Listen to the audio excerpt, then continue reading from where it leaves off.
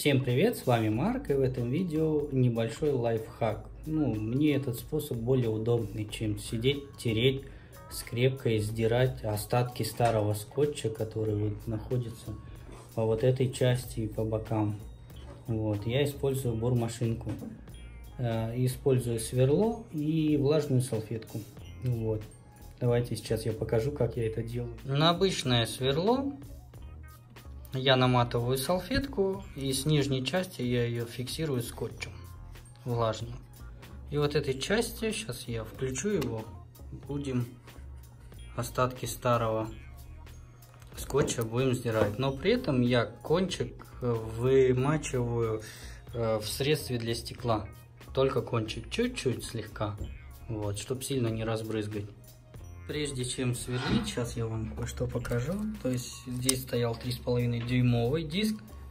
Вот, я прикручиваю всегда на один винт, достаточно прочно, крепко, и он практически, ну, э, жестко сидит. Вот. Винты, которые шли на жестком диске, обязательно оставляем внутри компьютера, потому что при вдруг в будущем владелец захочет поставить жесткий диск, поставить SSD сюда, в эту область обратную, часть платы PCI-шной. Вот, поэтому винты мы оставляем здесь. Вот, так будет правильно. Надеваем очки, чтобы стружка, брызги к нам в глаза не летели. Запускаем наши эти штуки.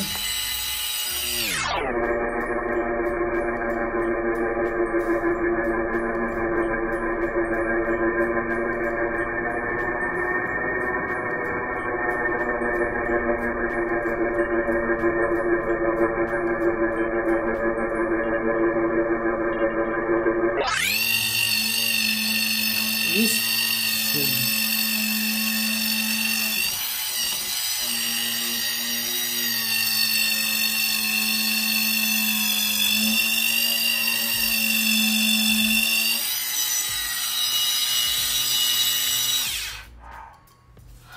Так, а теперь я вам покажу наглядный пример. Видите, остатки старого скотча, они есть.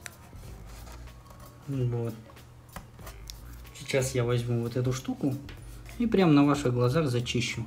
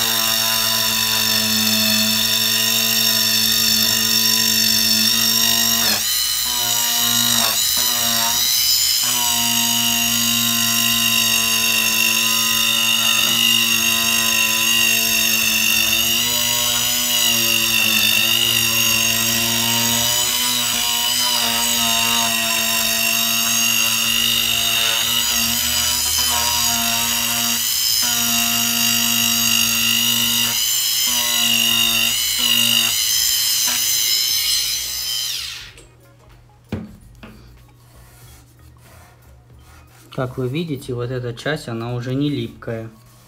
То есть зачищается очень хорошо. И потом наш двухсторонний скотч очень крепко клеится, очень хорошо ложится. Ну вот видите, поверхность уже зачищена. И можно смело наносить наш двухсторонний скотч, чтобы закрепить нашу матрицу. Вот. Ну на этом все. Если вам понравилось это видео, ставьте лайки. Если у вас есть вопросы, напишите в комментарии. Я на них отвечу. Пока-пока, до следующего видео.